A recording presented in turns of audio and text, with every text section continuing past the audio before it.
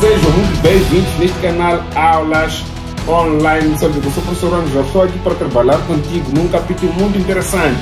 Isso de, ah, eu não sei derivar, derivar, puxa, nós damos derivada na escola, para, você nunca mais poderá afirmar isso, você está com dificuldade na derivada, porque estamos para ver o curso A Morte da Derivada. Pessoal, eu tenho dito sempre aqui, que quando o curso chama-se A Morte de alguma coisa, é que a coisa vai morrer mesmo. Então nós vamos começar da base, mas que você já tenha noções básicas da derivada, certamente você vai aprender alguma coisa neste curso. Esse curso é totalmente gratuito. Vou lançar todos os vídeos que tenho da morte da derivada nesse canal de forma gratuita.